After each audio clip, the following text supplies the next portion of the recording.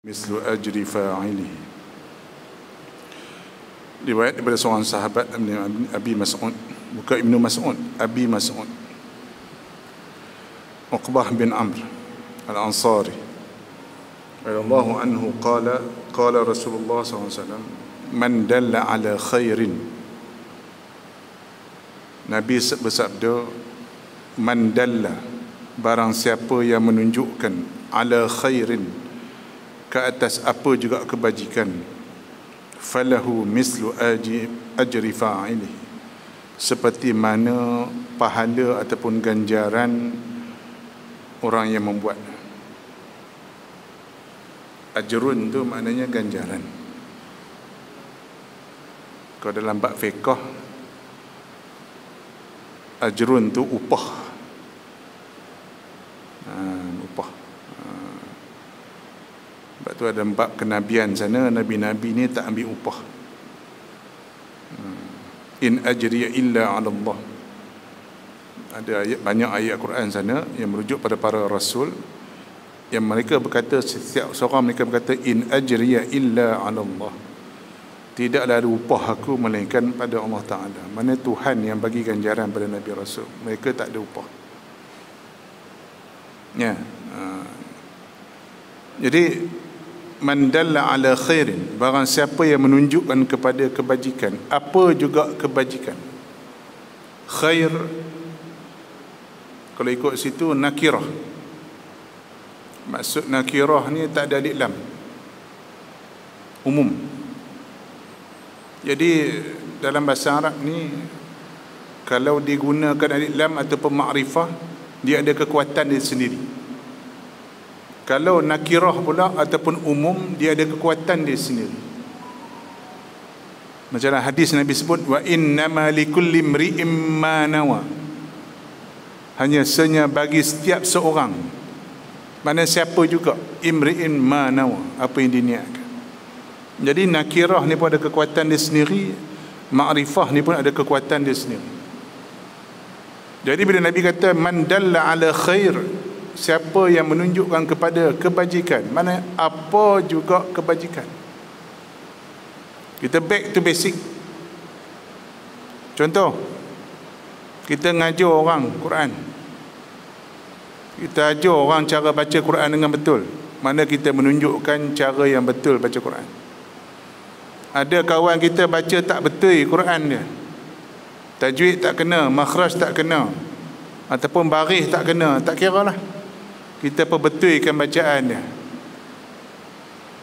maka selepas itu dia pun beramal dengan apa yang kita ajar yang betul tadi. Maka pahala yang dia buat tu akan dapat kat kita. Macam tu juga kita bila menyuruhkan kawan kita buat kebajikan kita bagi tahu. Semayang lepas isyak ni contohnya ba'da isyak ni pahala dia fadilat dia sama dengan semayang sunat raya semayang ba'dah isyak ni yang jarang kita buat. Sebab bila isyak nak habis isyak ni nak conggik balik ha, kedai kopi buka lagi malam ni. Ha, nak pergi kena teh nak kena roti cenai tak ada dah. Nak wirid tak ada semayang sunat tak ada. Tunggu dah saat dua minit je semayang sunat dua rakaat. Ringkas-ringkas pun jadi ya sebab apa? Pahala ataupun fadilat sembahyang sunat selepas isyak ni sama macam sembahyang sunat raya. Kita tahu ni sembahyang raya pun tak ada kan? Ha, tapi tiap-tiap malam boleh dapat fadilat sembahyang raya. Dengan apa? Ba'da isyak. Ha, kita pun viral ke benda tu pada kawan-kawan kita. Jadi kawan-kawan pun kita pun buat. Maka kalau dia buat terdapat pahala kita pun dapat saham sama. Sebab apa? Sebab kita tolong bagi tahu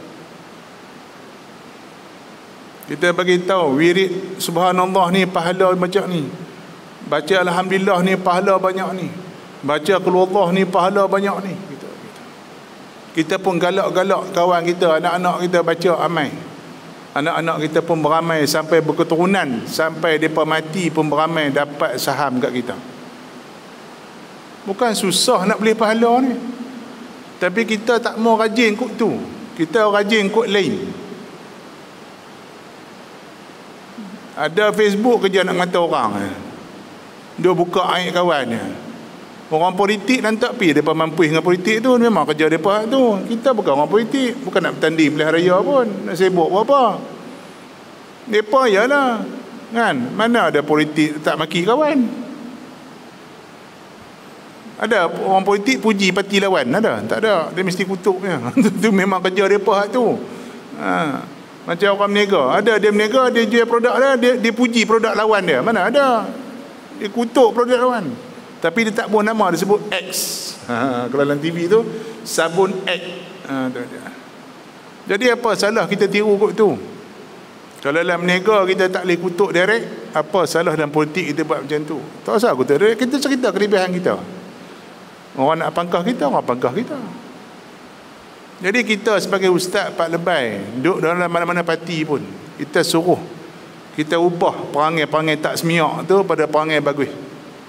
Kita kata tak usah lah udah-udah lah tu. Tak usah tak usah lah duduk maki-maki orang duduk fitnah orang. Ya kita bawa je kita punya slogan kita punya manifesto kita punya apa sudah. Ha, orang punya pasal dia buat manifesto dia. Jangan kita pitiru cara parti lawan tak mau. Dengan sebab nasihat kita tu geng-geng kita pun berhenti maki orang. Ha, jadi dosa dia pun kurang. Maka dengan sebab dosa dia kurang tadi kita dapat pahala sebab mengurangkan dosa orang. Mudah Mudah. Nak buat pahala pun mudah Nak buat dosa pun mudah dunia. Dengan apa? Dengan mulut. Sekarang ni tak payah pakai mulut. Pakai type Keyboard warrior Dulu pakai komputer Keyboard warrior Sekarang ni pakai handset Nak pakai apa Atau keyboard juga Tak tahu lah Keyboard juga ha, pakai Tak berhenti Duk, duk cerita pasal orang Tak payah mana lagi contoh? Contoh kita mai satu kawasan. Macam katalah masjid ni baru buat contohnya. Masjid Kota Lama kiri. Kata dulu tak ada. Kita pun buat. Jadi nak bagi mudah orang cari masjid ni kita buh dalam Google ke dalam map kita buh. Ha, masjid Kota Lama, Masjid Hidayatul Ummah. Jadi orang mai kawasan dekat-dekat ni dia nak cari masjid, oh dekat, masjid 1 km, 200 meter ke depan masjid. Ha, dapat. Dengan sebab kita letak map tu satu tu je. Pahala dapat. Bukan berat pun kerja tu. Contoh. Ada surau ke depan tu. Macam saya hari tu nak semain Jumaat. Bila time PKP tengah teruk tu lah. Ha, pergi shopping ke Ipoh tengok kali dah masuk Zohor lah. Nak pergi cari surau tengah hujan lah tu macam ni. Tengah hujan lebat tengah hari tu. Cari punya cari. Oh jumpa. Masuk dalam taman tu. Masuk, oh, jumpa surau. Pasal apa ada map tulis tu kan kita pun cari-cari jumpa surau tadi kita pun semai jemaah tu Alhamdulillah kita dapat insyaAllah dapat pahala orang yang bubuh dalam map tu pun dapat pahala sebab apa? sebab dengan sebab bantuan dia kita mudah cari masjid ha, kalau macam dulu biasalah kita berhenti tepi jalan tanya makcik makcik surau kat mana? nunggu depan tu ha, kan lepas robak tu masuk kiri contoh ha, Pusing-pusing masuk kiri tak jumpa apa, jumpa bendang. Masjid tak jumpa, surah tak jumpa. Ha, tu jenis. ha, dia best macam orang kedah. Ha, jum, ni mana? Ha, pi depan sikit, masuk kanan, pi tanya orang. Ha, tu orang kedah Ustaz. Ha, pi depan, ada simpang masuk kanan, sekali jumpa rumah orang tanya. Ha, dah. Ha, tu jadi buat pening kepala otak orang. Pula dah. Kalau tak tahu, buat tak tahu. Ha, saya pun tak tahu lah surau tak mana ha, malu no bila orang tanya surau tak ada mana tak nak pergi kita kata lah kita pergi masjid tak pergi surau ha, megah sikit lah kan itu dia. jadi menunjukkan jalan tu ataupun orang minta nasihat kan orang minta nasihat. Ha, bagi nasihat yang baik-baik. Contoh orang bergaduh lelaki bini. Minta nasihat. Ha, elok lancarai bini hang tu memang tak guna. Pula dah. Ha, tu nasihat busuk.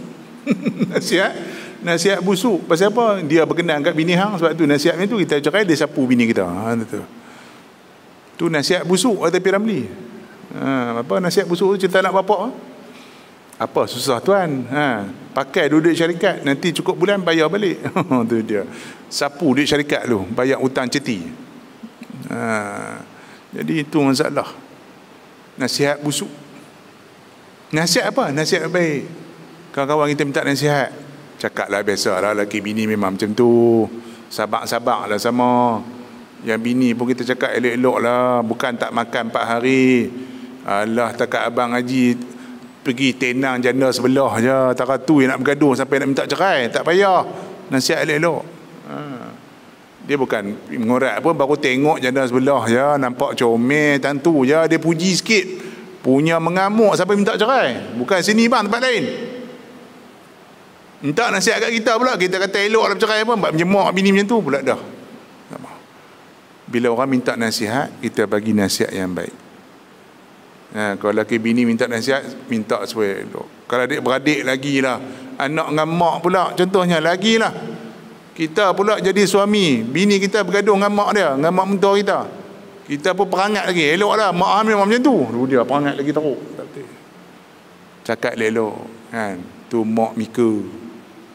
Buruk-buruk pun mak mika. Mika nampak je buruk. Dia bela Mika daripada kecil gini-gini. Cakap elok eh, mak bini kita pun baik balik dengan mak dia. Ya. Ha, jangan sebab tu kita dapat pahala. Sebab apa? Menaukkan silaturahim. Jangan kita jadi batu api pula. Ha, elok orang tu nak bergaduh sikit kita bubuh lagi minyak bagi bergaduh terus tak mau. Banyaklah. Hadis ni banyak boleh pergi. Ya, tunjukkan jalan ke masjid tunjukkan jalan ilmu bagikan nasihat yang baik beri pandangan yang bernas macam masjid ni contohnya kita jadi AJK nak bangun ke ekonomi macam mana nak buat aktiviti macam mana. Ha, kita kata murid Nabi ni kita tak boleh nak buat ceramah. Contohnya ramai-ramai tak boleh macam dulu. Dulu boleh panggil ribu-ribu orang boleh main. Panggil ustaz-ustaz glamour ni ustaz-ustaz famous ni boleh ribu-ribu orang main. Riuh satu kota lama ni. Lah tak boleh lah PKP nak buat macam mana? Ha, kita pun cadang kan. Kita buat kursus ke kita buat kuis ke kita buat apa nama? Soalan terbuka ke macam mana ke contoh? Ha, kita bagi idea tadi. Dengan sebab kita bagi idea program tu berjalan. Anak-anak kita pun mula menghafal Quran menghafal hadis. Hafal nama Nabi hafal nama sahabat yang insya Allah menanam kebenih iman pada anak cucu kita. Ya akhirnya anak kita ni loklak dia ni buang masa tak ada pedah ni alhamdulillah dia mula dah baca sikit sirah Nabi. Sejarah sahabat, hadis-hadis ayat Quran contohnya. Maka dengan sebab tu dia bertaut benih iman dia dalam hati dia. Jadi bagus. Jadi kita pun dapat saham sama sebab kita yang mula cadang program macam tu contoh. Jadi macam mana nak dapat benda ni bang, tuan-tuan? Hari-hari kena buat. Hari-hari kena buat. Ada satu orang saya ingat tak ingat siapa nama orang putih tak saya. Dia ni pensyarah universiti bidang psikologi.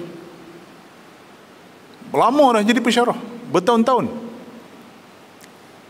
Lalu dia buat keluar satu kenyataan. Aku ni dia kata dah lama jadi pensyarah psikologi. Duk mengajar psikologi. Tapi aku tak hidup sebagai seorang ahli psikologi baru sekarang aku menikmati ilmu psikologi itu sebab aku jadi ahli psikologi. Mana apa? Hari pagi petang siang malam aku jumpa orang aku mengamalkan ilmu psikologi aku. Nasihat orang pada yang baik. Baru aku dapat dia punya kesan dia. Macam tu juga kita. Kita jadi ustaz jadi tok imam jadi tok guru. Jadi pak lebay kita hanya baca kitab di masjid eh, di surau eh. Balik rumah orang lupa kitab, lupa apa. Tak mau. Biar kita jadi pak lebay, jadi ustaz, pak imam ni pagi petang, siang malam kepala otak kita duk mikir, ya, apa nak buat? Ni masjid aku ni apa nak buat? Apa sesuai? Program apa sesuai? Dah selesai ke masalah tajwid orang kampung kita ni? Dah selesai ke masalah miskin kampung kita ni? Apa kita boleh bantu masalah ekonomi contohnya? Macam baru ni saya cadang kawan-kawan. Saya tanya. Dekat Perak ni saya tanya berapa ekor lembu sembelih setiap kali korban. Saya tanya kawan. Ada berapa masjid di Perak ni? Tak kurang 800 masjid ustaz di Perak. Oh dia. Satu masjid katalah 10 ekor lembu. 5 ekor sudah. 5 ekor kali dengan 800 tak pergi 4,000, 5,000 ekor. 5,000 ekor tu seekor lembu dah ni tak kurang 5,000 seekor. Kali? lima ribu kali dengan lima ribu. lima ribu berapa? 25 juta.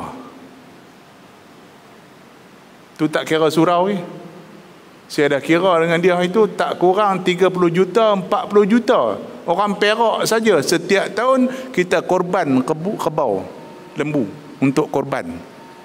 Tak campur kekah tak campur kenduri nikah. Saya kata bagus lah ha, bagus ustaz. Kita Alhamdulillah lah orang-orang kita mula semangat korban. Saya kata bagus macam tu. Saya tak sentuh bagus tak bagus tu ustaz nak sentuh apa? Saya kata siapa supply lembu dia diam. Kawan tadi ni. Oh. Ambil kat kelin ustaz. Itu ayat dah. Ambil kat kelin lah. Kelin banyak jual lembu ni ha. ada lah Melayu seorang dua jual lembu ada juga tapi tak banyak. Majoriti ambil kat kelin mengali pergi jual lembu. Saya kata kita dapat pahala tu bagus dah saya kata. Tapi duit 30 juta 40 juta tu kita bagi pada orang lain saya tak mau cakap pasal pahala dosa, saya tak mau cakap. Saya cakap pasal duit. Saya kata tak boleh pakat ke satu masjid Perak ni kita buat sepakat. Pi lantik satu pengusaha lembu, penternak lembu, kebau. Kalau belah Kuala ni ada tanah besar mana? Belah mana? Belah Senggang. Ha, kita lantik pengusaha belah Senggang ke mana? Ha, jadi satu Perak ni pakat, semua pengusi masjid ni pakat, mesyuarat kita akan lantik ambil pada pengusaha ni. Lagi 2 tahun lagi kita tak mau ambil pada orang lain lah. ni. So 30 juta 40 juta tu duk pusing dalam masjid juga. Jadi anak-anak muda kita yang tak ada kerja ni ada kerja ada belah lembu belah kambing bolehlah naik ekonomi kita oh, macam tu ustaz fikir. Ustaz fikir macam mana? Ah bala dia tanya kita macam tu. Saya kata jadi ustaz ni tak boleh time mengajar je buka kitab saya kata. Malam pun kena buka kitab lagi petang kena buka kitab lagi kena fikir je masalah rumah bagi petang saya malam. Baru boleh keluar idea. Macam tu je kita. Kita tak boleh duduk saja. Jangan hari ni nak mesyuarat baru hari ni nak fikir keluar idea. Tak keluar. Dia kena hidup. Duduk sembang saja dalam whatsapp pun sembang masalah masjid masalah rumah. Tuhan akan bagi idea Ni dah.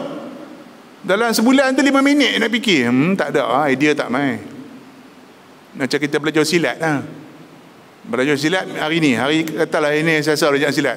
Minggu depan baru belajar pula. Balik tidur. Makan boroi perut. Boleh kemas silat kita. Tak ada. Belajar silat tu petang kan latih pula. Pagi esok bangkit senaman balik. Buat praktikal balik. Tanya balik tu betul ke langkah ni? Tanya. Baru kemas. Kalau setakat sebulan sekali belajar langkah, mampu tak ada apa, tak ada. Bohong. Macam tu lah, apa bedang pun.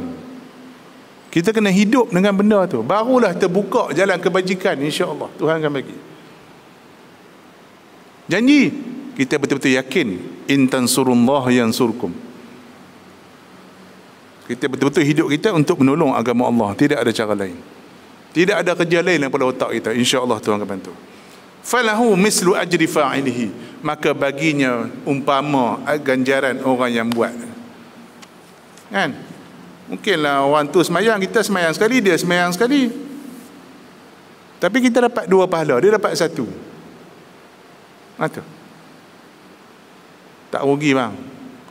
Hidup kita ni tak rugi buat baik. Ha. tapi kita kadang-kadang kita rasa menyesal buat baik. Itu bala Mana saya sebut itu? Contohlah, contoh minta maaf lah. Bukan saya kata siapa-siapa. Katalah kita berkhidmat pada masjid surau. Lama nak khidmat. Ha. Alih-alih tak dapat apa pun. Orang puji pun tak. Orang buah dalam, buah dalam Facebook pun tak nama kita. Tok-tok main JK baru ada nama dalam Facebook. Ada gambar lagi. Kita pun ungkit. Ampui pok-pok ni baru sebulan jadi JK nama dah penuh dalam Facebook dah aku puluh tahun jadi JK haram tak masuk gambar pun penat je aku buat kerja kita sebut penat tu je Tuhan padam habis semua pahala kita buat no, sama macam kita kak bayang kak pahala jadi so isteri ni kak Suami kita balik kita bancuh teh depan suami kita. Bancuh. Tak. Pahala. Senyum. Pahala. Abang Haji kita baru menguik lah. Picit baru. Oh, kan? Oh, ya pahala lah. Itu dia. Tapi, mai bergaduh sekali kak kita ungkit. Abang Haji memang tak guna. Penat dia buat baik dengan Abang Haji. Kita cakap macam tu kak. 30 tahun kita menikah kak. Sikit ke pahala kita buat dengan suami kita. Kita ungkit sia-sia je buat baik kat Abang Haji. Betul sia-sia. Tuhan padam habis semua amalan kita. Penat je kita ibadat. Tak ada apa-apa. Bila kita ungkit balik. Itu setan punya kerja. setan ni dia ada tiga tempat dia duduk dalam amalan kita. Pertama sebelum buat amal. Dia main jadi nak buat ni. Contoh nak derma. Niat dah nak bawa RM10 nak derma. Tuk-tuk tengah jalan jumpa orang dia kacang kacang kuda. RM2 lebu. Tak apa ada lagi RM8. Tengok depan pula ada orang jual cekedi. Lebuh pula RM2 tinggal RM6. Tengok depan pula lah ada orang jual lima pula dah. Oh, lebuh habis habis. Tak apalah setan kata minggu depan boleh derma lagi. Tadi niat betul dapat satu niat kan dapat derma. Tapi habis tu setan punya kerja. Sebelum tengah semayang dia kacau juga. Tengah derma, mai orang tengok. Oi. Hang derma merah hmm. orang tengok hmm. mesti orang puji hang bagus. Kita pun kembang. Ha. Habis. Setan punya kerja. Dia main riak, dia main was-was dalam ibadat kita.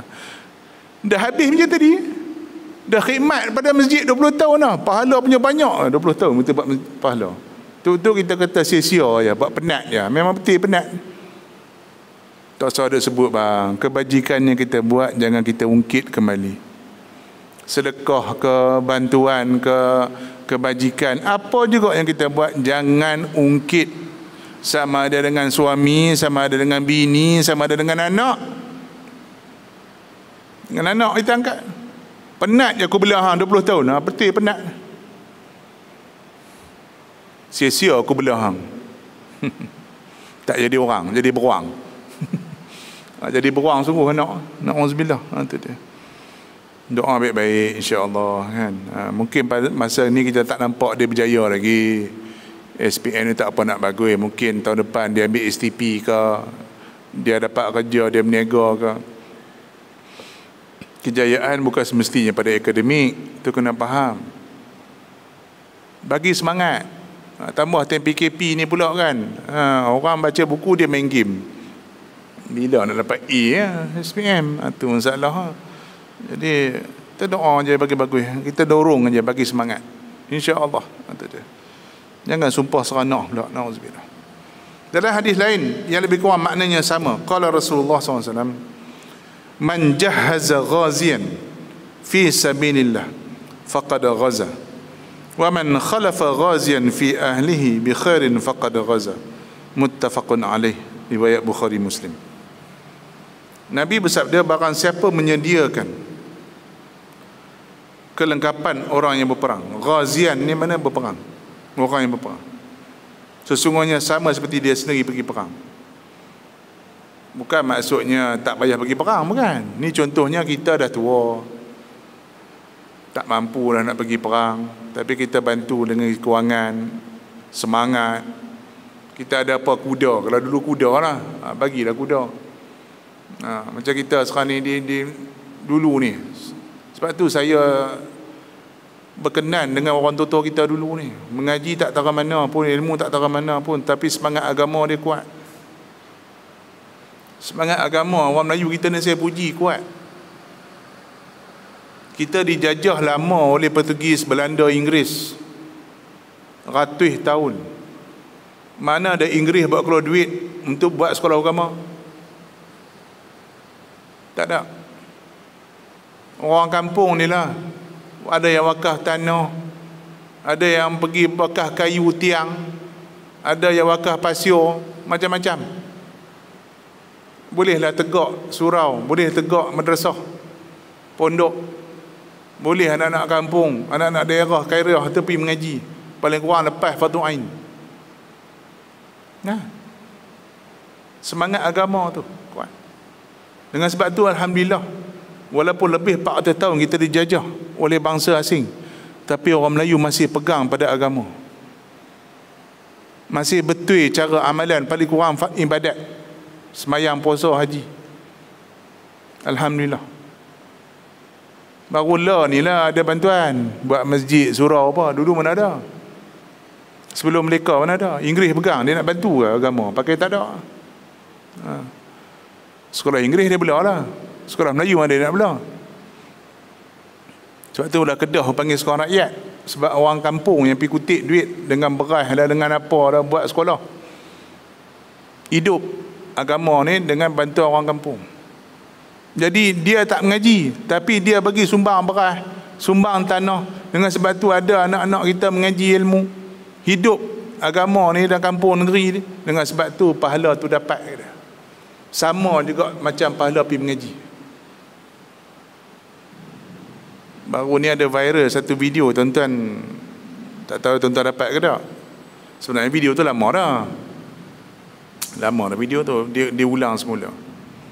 Seorang penceramah seorang ulama di Syria dia dia ceramah kisah satu tempat di Syria. Cerita orang Kuwait kubur. Tuan dengar ke? Tak tahu lah. Tak tengok.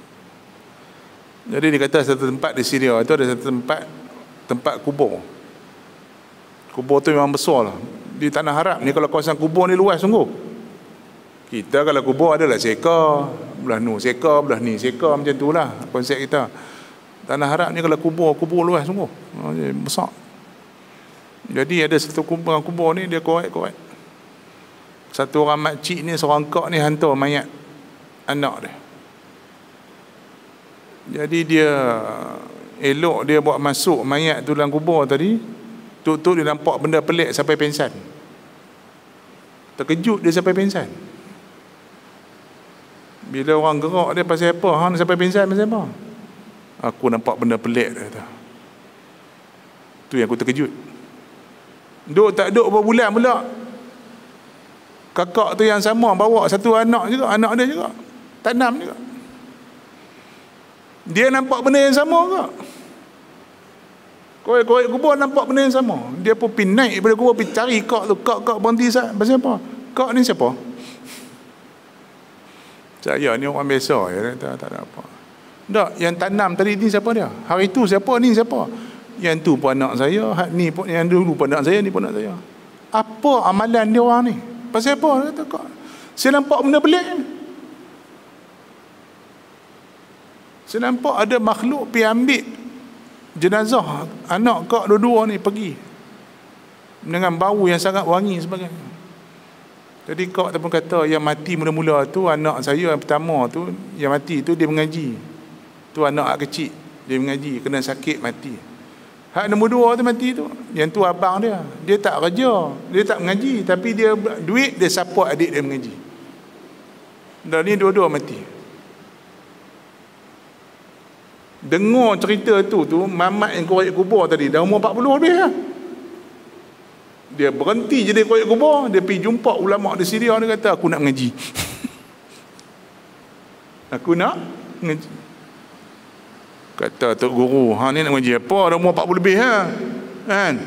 Apa pun tak tahu nak kena ajak dia basic. Tak apa, basic pun basic lah. Belajar balik nahu asal. Apa yang jurumiah balik? Ha, kan? Al-kalamu al-labzul murakkabun mufid bulu watanya. Apa balik pada awal? Gonggang, gonggang, gonggang. Tak apa. Dalam masa 10 tahun lebih kurang, dia jadi ulama besar di Syria. dan digelar sebagai Syekh Abdul Razak Al-Haffar. Haffar mana tukang kuat kubur. dia nak dia nak jadi bagus ni dia kata tuan-tuan Tuhan bagi kan sebab ada seorang ulama di Mesir ni dia tukang sapu sampah ya. di Azhar tu dia tukang sapu sampah. Jadi di Azhar ni Masjid Azhar dulu ni sampai sekarang ni dia ada halakah ilmu ni. Macam sana ada sudut mengaji ni ada mengaji. Jadi dia tukar siapa-siapa dengar Tok Syekh tu mengajak. Sambil-sambil tu dia dengar Tok Syekh mengajak lah jadi alim ha, jadi kalau orang mengaji Nahu dia ada nama apa nama Alfiah Ibn Malik satu lagi Alfiah Azhariyah. Alfiah Azhari tu Azhari tu mana tukang asyik tukang sapu sampah Masjid Azhar jadi alim. Kan? Ha, dia kalau nak tu Tuhan bagi jalan. Alhamdulillah. Ha, baru dia tahu pahala orang mengaji ni macam mana. Sebab tu ulama ni pahala dia besar. Cukup kalau Nabi bagi tahu kita hadis panjang kan ada hadis Nabi kata uh, tidaklah tiga suap kita makan dengan ulama. Atau kita lang, tiga langkah kita duduk berjalan dengan ulama. Atau tiga detik duduk dengan ulama. Duduknya tidaklah tiga satu suap atau satu detik ataupun satu langkah tadi kata Nabi tidak kecil daripada bukit Uhud tu pahala. Oh. Jadi tuan-tuan bayang kita mengaji untuk guru berapa banyak pahala kita dapat? Tu kita yang untuk guru tu banyak mana pahala dah lagi banyak. Sebab dia yang menyampaikan ilmu. Bukan sikit orang mengaji dengan dia. Macam kami mengaji di Azhar tu yang best dengan saya tu ada 200 ribu orang. Tuan-tuan bayang? Student ni masa saya mengaji dulu ada 200 ribu. Azhar. Yang mengajak berapa orang ya, Tok Guru? Ha, berapa bayang anak murid dia banyak mana dengan tu anak murid pula bertebur muka dunia balik Malaysia, balik Indon, balik Turki balik Afrika mengajar ilmu Sikit ke pahala? Bukan sikit. Ha, jadi kalau kita tak boleh jadi ulama pun biarlah kita jadi orang yang menyampaikan niat ulama itu. Sungguhnya. Menyampaikan ilmu, menyumbangkan kepada majlis ilmu, kan? Menyumbangkan kepada pembangunan masjid ke sekolah ke. Biar kita ada saham sama. Jangan tak ada langsung. Dah lah tak ada, kutuk pula. Ha, ilah, ilah. Apa? masjid ni? Tak ada kerja lain program program program program. Buat mekok eh. Pula dah sat-sat ceramah sat-sat majlis ilmu. Rimah eh tengok. Sebab tu Syafi'i kata orang dengan ilmu ni ada banyak level. Pertama kata Syafi'i kun aliman. Jadilah orang alim atau muta'aliman ataupun orang menuntut ilmu kita tak alim kita mengaji ha, mengaji Lepas tu kadang orang jumpa saya tengah mengaji kata, eh, Ustaz main mengaji. Allah saya bodoh lagi bang mengaji. Ha, saya di Yusah tu tempat tempat parking saya library. di Yusah. Sampai orang tanya Ustaz hari itu pasal apa duduk library? Kadang orang main tanya saya, Ustaz pasal apa duduk ni? Saya bodoh sebab tu duduk library. Ha, kena baca buku banyak. Orang lain tak apa kot tak payah mengaji. Saya kena baca buku banyak. Saya bingung sebab tu kena mengaji banyak. Ha, dia ambil. ambil. Itu dia. Kan? Ha, kena baca buku banyak. Letakkan kita atas penuntut ilmu. Au muta'alliman. Au mustami'an. Dengar jadilah. Kan? Ha, dengar orang mengajar seronok. Dengar orang ajar Quran. Dengar orang ajar hadis. Tafsir. Tauhid. Pekah seronok. Terdengar. Au muhibban kata Syafi'i. Tak ada masa nak dengar sibuk ustaz. Kita jadi orang yang meminati majlis ilmu. Tolong bagi tahu kita tak dapat pergi majlis tu. Kita pun forward kawan. Ni hari ni ada ustaz main mengajar ni. Masjid kota lama ni. Aku tak dapat ni. Aku kena pergi Ipoh. Hampir sat ha, dengar pergi meramaikan masjid dengan sebab kita bagi cadangan pada kawan kawan tu pergi dapat pada kita pun dapat sama. Tumpang saham. Ingat jangan sampai tak ada saham kita dalam benda baik jangan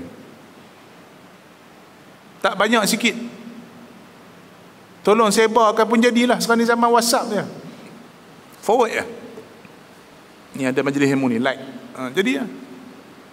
Ada sekarang ni mengaji online saya ni TPKP ni seminar online tak berapa kali seminar tau. Dulu ni kalau nak pergi seminar payah no. Ni seminar antarabangsa pun online je. Tok Syekh Arab tu daripada Iraq, daripada Qatar, tu dekat Qatar ceramah. Kita dengar kat sini ya. Tak tekan tu ya masuk. Esok dapat CJ ha, gitu je. Punya anak mudah tu. Kalau sampai tarat tu pun malah hmm, tak boleh kata apa. Tu buat kata os kan. Campak kandang boya je ha, jadi ulama pun tidak mengaji pun tidak dengar pun tidak minat pun tak wala takun khamisan kata syafi'i. Jangan jadi yang kelima. Fatahluk likuk ulama tidak mengaji tidak dengar tidak minat pun tak orang tak mau paling kurang mau ada minat. Tengok anak-anak kita baca Quran seronok. Allah tengok anak-anak muda kita hafal Quran kan. Allah seronok tengok. Kan? Berbanding dengan anak muda yang yang merapu-rapu minum ketum apa tu tengok budak-budak baca Quran seronok. Seronok tu pahala lah. Kita tumpang seronok tengok umat ibadat tu dah kira paha pahala. Lah. tu sekali. Kita like tu. Suka tu bukan like. Suka kan? Like. Suka. Ha, tengok. Ada majlis ilmu tekan like. So setiap kali majlis ilmu dalam Facebook kita beribu like. Tak apa. Baru orang tahu, eh pasal apa ada beribu like, orang pun tengok, oh ada ceramah punya, oh, bagus ceramah ni. Ha. Ni like ada dua. Hmm, orang pun tak mau tengok like ada dua eh, buat apa nak pergi dengar ramai. Dia tuan-tuan nak buat baik ni banyak cara. Ya, kita sendiri cari. Faqad ghaza, maka dia telah berperang kata Nabi. Wa man khalafa ghazian. Dan siapa mengganti orang yang keluar perang. Contoh, bila orang pergi perang dia ada bini ada anak ya kita ni tak larat dah ada gaut nak pergi perang tak larat. Cedera ke? Ataupun kita tu makcik-makcik ya memang tak pergi perang pun. Ha, kita tolong bela anak-anak orang tu yang pergi perang tadi tu. Kita sediakan kelengkapan dia. Ini benda semangat ni dah tak pernah ada hari ni. Sebab jelas zaman makin moden kan. Zaman makin moden. Jadi semangat tu sekarang ni semangat duit ada. Semua buat benda duit. Uh, semangat kerjasama tu kurang. Tapi zaman Nabi tu memang dibentuk macam tu. Jadi kalau ada hamba Allah ni pergi perang, bini nak tinggal dengan siapa? Um, adalah makcik-makcik mai lah duduk dengan kami, kami bagilah makan apa semua. Sementara lelaki yang pergi perang sebulan, uh, anak-anak hang ni mai duduk dengan kami, kami bela. Dapat pahala. Sama macam pergi perang tadi.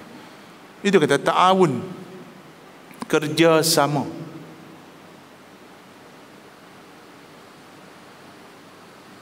sebab tu tuan-tuan saya bukan nak puji Perak ni. Perak kita ni banyak sejarah kita yang hebat. Orang tu ingat Tok Guru banyak Kelantan Kedah ya. tak Perak ni sejarah banyak Tok Guru. Pakar falak Malaysia ni orang Perak asal dah tu Idrisiah dulu ni hebat. Yaya Wiyah lu hebat. Hebat. Seluruh Malaysia main mengaji. Ihya Syarif Seluruh Malaysia main Lah ni jadi SBK ya, sekolah biasa Dulu ni kira level college. Dia mengajar Syekh Allah Fahim Dia siap. Arwah Pak Wi Tuan-tuan kenal. Kalau orang lama kenal lah Orang candan Syekh Zubair. Ma'ruf Orang Perak. Melahirkan tokoh yang hebat. Tapi tak tahulah dia jadi hilang macam mana tu benda tu jadi ruyuk macam tu ya. Jadi sebab tu saya cakap dengan kawan kita kena usaha balik lah saya kata. Sebab di Perak ni dia dia apa dia orang Perak ni dia dia dia dia leher leher leher kali kan? Dia tak macam Kelantan Kedah. Kelantan Kedah ni dia kalau datuk guru dia dia tak asuk sungguh. Oh, buat pondok bagi apa semua semangat buat tulis buku sejarah ulama Kelantan ulama Kedah. Perak ni dia dia lui gitu relax. Oh, itu tuan-tuan saya berapa tahun sudah? Saya sembang-sembang dengan kira pangkat junior saya di Mesir tu. Sembang-sembang dia kata pak mentua dia dulu ni pernah menjadi anak angkat kepada Syekh Najib Muntai. Saya kata biar betul. Betul Ustaz. Dia berkhidmat dengan Syekh Najib Muntai. Hantar tak Najib Muntai itu siapa dia? Tahu. Siapa dia? Mufti Mesir. Mana apa hang? Dia pun bawa pergi jemput. Jemput-jemput dah tergedang hati-hati. Tak larat. Sakit. Orang Kuala ni bang anak angkat mufti Mesir boleh kita tak kenal main. Tuan-tuan tahu Najib Mutain siapa? Nak beritahu sikit lah tuan-tuan tahu Najib Mutain siapa? Dia yang menyiapkan majmuk syarah muhazzab. Karangan Imam Nawawi dan Imam Suki. Imam Nawawi karang 9 jilid sampai bab haji ke bab zakat. Disambung oleh Imam Suki satu jilid. Bab haji ke bab apa? Tak silap saya. Jadi kitab tu berhenti lama tak ada siapa nak karang Imam Subki Imam Nawawi hidup kurun ke tujuh ke lapan tu tujuh. Tujuh. Imam Nawawi meninggal enam tujuh enam tak silap saya. Subki sambung lepas sikit lepas tu. Lepas tu kitab tu senyap tak ada siapa sambung. Siapa sambung? Mufti Mesir sambung Najib Mutai tuan-tuan Najib Mutai ini siapa, apa level dia? Dia mimpi jumpa Nawawi. Ha, ni orang cerita ni heboh ni orang tak percaya nampak tak percaya dia mimpi jumpa Nawawi Nawawi kata hang sambung kitab aku. Dia sambung. Banyak para pengkaji mengatakan bahawa bahasa Syekh Najib Mut'i dengan bahasa Nawawi itu tak jauh beza. Orang tak reti nak beza sebab kualiti bahasa dia sama. Allahu Akbar. Anak angkat dia duduk kat Kuala ni kita boleh tak tahu. Saya pergi jumpa dia saya kata Syekh sihat no main sihat lah usaha lah bagi sihat Syekh. Kenapa Ustaz? Saya nak ngaji dengan Syekh. Dapat mengadap kitab satu dua jadilah. Nak ambil berkat. Mufti Mesir. Tak dan. Lepas sebulan saya ziarah tu meninggal. Tuan-tuan. Ni sebelah ni kubur Profesor Zulkifli Muhammad. Idris Mabawi Azhar bagi dia syekh Tuan-tuan bayang Azhar bagi dia syekh Agak-agak level mana? Agak-agak tuan-tuan level mana dia? Hoi alim tu. Bukan UM UKM bagi profesor Bukan. Azhar bagi dia syekh Syekh tu kira atas profesor Tuan-tuan bayang. Level mana dia?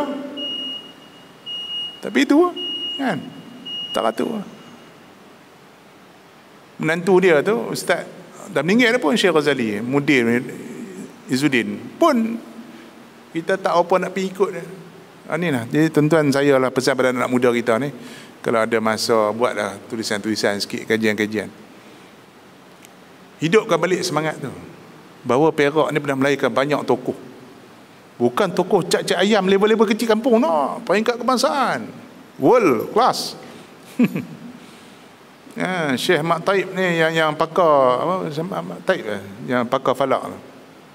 Sampai hari ni orang kenal lagi. Buku dia, tulisan dia memang hebat. Jadi rujukan ulama sampai hari ni. Orang Perak. Jadi kita lah kena hidupkan balik budaya tu insya-Allah. Ha? Tanamkan balik budaya cinta ke ilmu tadi. Supaya apa? Supaya bila kita hidup dengan ilmu tuan-tuan, automatik agama kita akan naik. Kita sayangkan ulama, sayangkan masjid, sayangkan surau, sayangkan pondok, sayangkan madrasah. Jadi kita tak ada jadi lara huhara. Ni kita kalau buat benda lara ni lah, hafal habis Nama arti hati yang tak ada faedah pun hafal. Bukan setakat hafal nama, pakai baju warna apa, beranak berapa orang, hafal habis. Apa faedah dapat apa? Duit dapat dunia, tak dapat akhirat tak dapat. Tak tahu faedah apa tak dapat. Tanya-tanya orang Kuala, duduk Kuala ulama Kuala kenal? Tak kenal pun ulama Kuala ni. Dia pun tak kenal. La haula wala quwwata Tu saya kata. Saya cakap depan kawan, awak tak beritahu. Saya ingat ustaz tahu dah, mana aku tahu. Hmm. Tuan-tuan, ingat ya. Bila kita tak sedih bila ulama mati mana iman kita dah kacau? Tu ya tu ya sebab ulama ni saya sebut tadi kita duduk dengan dia pun pahala bayang sebab tu kalau Datuk Guru mai hari tu saya mengajar di Semanggui. Rupanya ada Syekh Nordin datang ke Kemunting saya pecut saya tanya sepupu ada lagi tak syekh ada baru lepas mengajar saya kata tunggu Ustaz kata. saya pecut daripada Semanggui datang ke Mentin jumpa kata jumpa jumpa Ustaz jadi dapat pula makan ha, sapu sungguh makan sungguh Pasal apa? Sebab satu suap makan dengan ulama ni tak kurang pada bukit Uhud pahala bayar. Hmm, saya makan dua pinggan terang, dua pinggan. Jadi kira lah berapa suap duk ada. ha. Baru duk makan dengan dia ya. Bukan mengaji dengan dia ni. Itu dia. kita pula jadi anti dengan ulama na'udzubillah jangan ya, mereka ni tak ada kepentingan apa pun ha? saya banyaklah kena tok guru ni bukan macam kita dulu saya kenal satu mudir di bagian serai dia wakaf habis kereta dia dengan rumah dengan kedai dengan dengan tapak tapak kebun wakaf habis kat sekolah. Saya tanya sekali tu saya pergi masuk ofis mana syekh? Mana tok guru? Kita mudir mana oh tidur bawah bawah meja. Ni meja duduk bawah ni tidur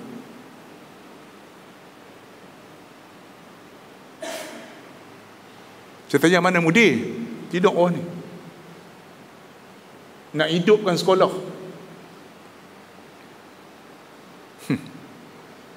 Kita tak kat mana kita buat untuk agama sembang derai ha, siap kutuk lagi ulama pula. Na'udzubillah jangan. Kalau ada lah dalam guruk-guruk tu kutuk tok guru mana pun tak kira lah parti mana pun berhenti-berhenti lah atas sahabat. Mereka hidup ni bukan macam kita. Saya sebut tadi kan pagi petang saya malam buka Quran buka hadis selesai masalah rumah duduk angkat tangan tangan doa. Kita pun tak kadang doa minta ampun dosa kita. Berapa kali setiap hari kita doa minta ampun dosa kita? Angkat tangan tapi tanya tu imam berapa kali doa sehari Allah maghfir li muslimin wa muslimat wal mu'minin wa mu'minat dia doa minta ampun dosa kita kita sendiri dosa banyak tak minta ampun pun dosa kita Tok-tok kita nak musuh dengan ulama, nak musuh dengan pak lebay. Saja cari penyakit.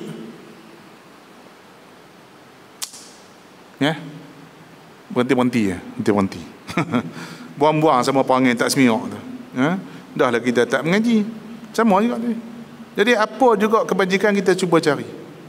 Waman khalafa ghazian fi alhi bi khairin faqad ghaza.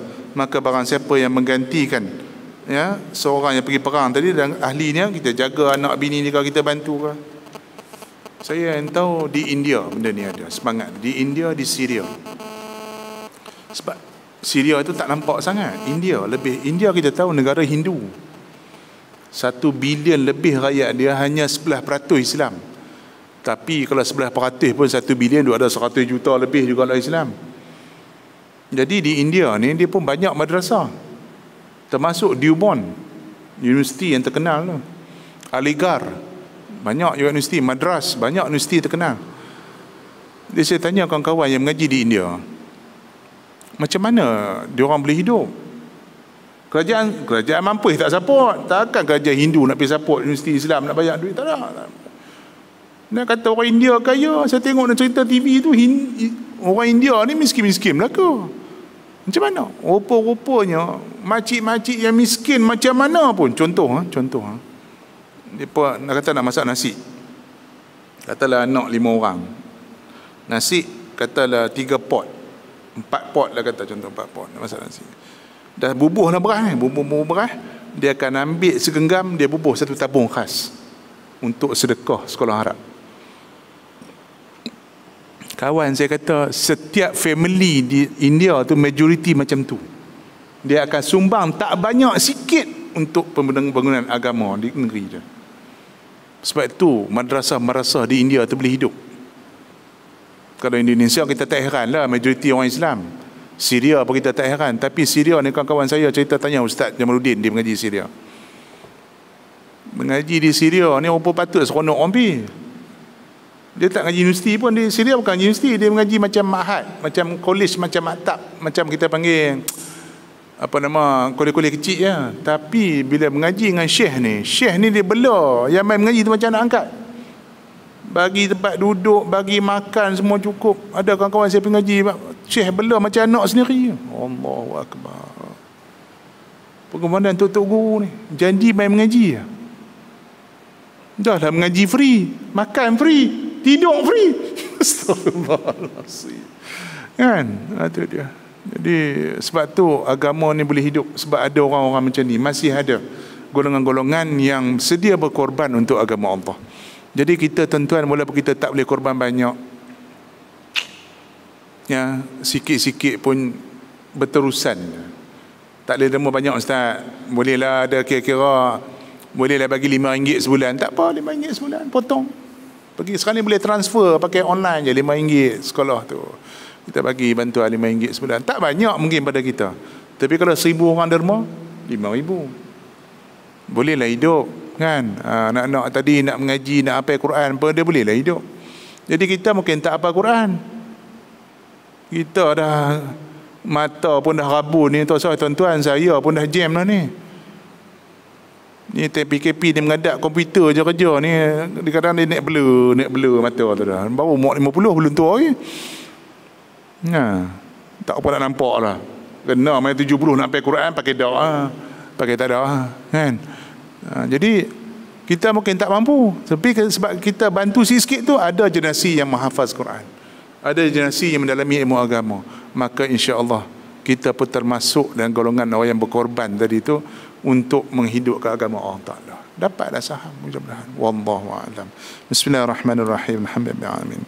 Wassalatu wassalamu ala rahmatir rahim. Wa ala al-batil batil wa sallallahu alaihi wa sallam.